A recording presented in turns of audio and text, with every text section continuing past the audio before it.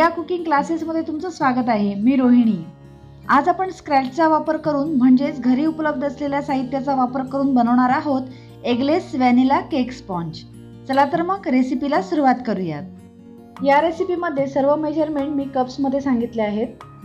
या केकसाठी आपल्याला घ्यायचं आहे दोनशे वीस ग्रॅम दही. केकसाठी आपल्याला आंबट दही वापरायचं नाही आहे यामध्ये आता आपल्याला ॲड करायची आहे एकशे ऐंशी ग्रॅम पिठी साखर. तुमच्याकडे जर कॅस्टर शुगर अवेलेबल असेल तर तुम्ही पिठी साखरेच्या ऐवजी कॅस्टर शुगरही वापरू शकता. इथे आपल्याला रूम टेम्परेचरवरचं दही वापरायचं आहे. फ्रीजमधून काढून लगेच थंडगार दही केकसाठी वापरायचं नाही.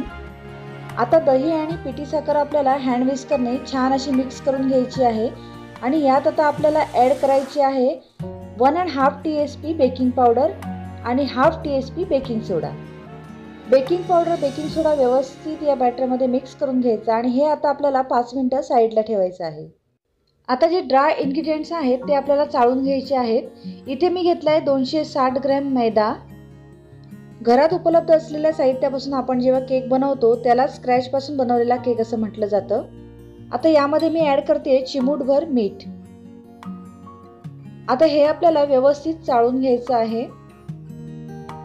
आपण जे दही आणि पिठी साखरेचं बेकिंग पावडर आणि बेकिंग सोडा टाकून ठेवलेलं जे मिश्रण होतं त्यामध्ये आपल्याला आता half T S P vanilla essence add करायचं आहे. आणि यामध्येच आपल्याला थोडं थोडं तेल ॲड करून घ्यायचं आहे. या केकसाठी मी शंभर ग्रॅम रिफाईंड सनफ्लॉवर ऑइल वापरते. आपल्याला कोणत्याही वासाचं किंवा फ्लेवरचं तेल इथे वापरायचं नाही आहे तेल ॲड केल्यावर हे मिश्रण आपल्याला व्यवस्थित मिक्स करून घ्यायचं आहे. कोणताही केक बनवताना आपल्याला रूम टेम्परेचरवरच्याच वस्तू यामध्ये वापरायच्या आहेत. फ्रीजमधून काढून थंडगार वस्तू कधीही वापरायच्या नाही. आता जे आपण दहीचं बॅटर करून ठेवलं होतं ते आपल्याला या ड्राय इन्ग्रेडियंट्समध्ये म्हणजेच या मैद्यामध्ये थोडं थोडं करून ॲड करून घ्यायचं आहे. बेकिंग करतेवेळी आपल्याला मेजरमेंट जे आहेत ते ग्रॅम्समध्येच घ्यायचे आहेत. कारण कप्स वापरले तर मेजरमेंट जे आहे कमी जास्त होऊ शकतं. ग्रॅम्समध्ये जेव्हा आपण साहित्य मोजून घेतो तेव्हा आपली जी रेसिपी आहे ती परफेक्ट अशी तयार होते. हे बॅटर तुम्ही हँड विस्करनेही मिक्स करून घेऊ शकता. हे बॅटर मी व्यवस्थित मिक्स करून घेतलं आहे हे बॅटर मला थोडंसं थिक वाटतं आहे म्हणून मी यामध्ये एक टेबलस्पून एवढं दूध ॲड करते. जर तुम्हाला हे बॅटर खूप थिक वाटलं तरच तुम्ही यामध्ये दूध ॲड करा. कारण कधीकधी मैदा कमी जास्त पाणी ॲब्झॉर्ब करतो. किंवा आपण जर घट्ट दही वापरलं तरीसुद्धा हे बॅटर ठीक होण्याची शक्यता असते. आता हे व्हॅनिला केक स्पॉन्जचं बॅटर बेकिंगसाठी तयार आहे. या एवढ्या बॅटरपासून अर्धा किलोचा केक स्पॉन्ज तयार होतो आणि हे बॅटर सात आणि आठ इंचाच्या टीनमध्ये एकदम परफेक्ट बसतं. मला या केकमध्ये हाईट जास्त पाहिजे. त्यासाठी माझ्याकडे हा सहा इंचाचा हायटेड टीन आहे. यामध्ये हे बॅटर मी बेक करणार आहे. या टीनला मी आतून बटर पेपर लावून साईडने तेलाने ग्रीस करून तयार करून घेतलं आहे यामध्ये मी आता हे केकचं बॅटर काढून घेते. बॅटर टीनमध्ये काढल्यावर स्पॅच्युलाच्या साह्याने थोडंसं असं लेवल करून घ्यायचं.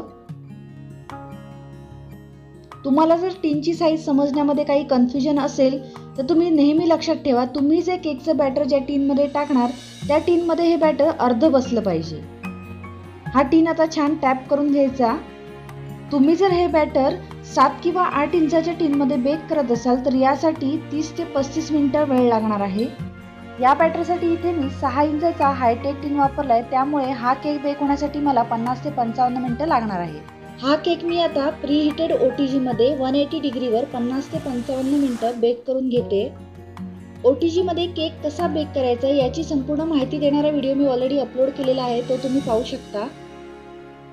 आता पंचेचाळीस ते पन्नास मिनटं झाली आहेत हा केक मी आता चेक करून बघते. तुम्ही पाहू शकता हा केक एकदम परफेक्ट बेक झालेला आहे.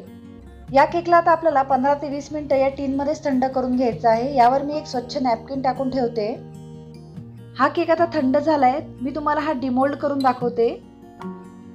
या केकच्या आता साईड्स आपल्याला लूज करायच्या आहेत. यावर एक प्लेट ठेवायची आणि हा टीन आपल्याला असा उलटा करायचा आहे. वाव तुम्ही पाहू शकता आपला केक किती प्रॉपर असा बेक झालेला आहे. फ्रेंड्स पुढच्या सेशनमध्ये हाच केक स्पॉन्ज वापरून मी तुम्हाला photo print cake with kulfi falooda flavour बनवून दाखवणार आहे. ही एगलेस व्हॅनिला केक स्पॉन्जची रेसिपी तुम्ही नक्की ट्राय करा आणि वेगवेगळ्या केकच्या डिझाईन्स आणि फ्लेवर्स पाहण्यासाठी माझ्या चॅनलला लगेच लाईक करा शेअर करा आणि सबस्क्राईब करा. तर भेटूयात पुढच्या सेशनमध्ये तोपर्यंत बाय थँक्यू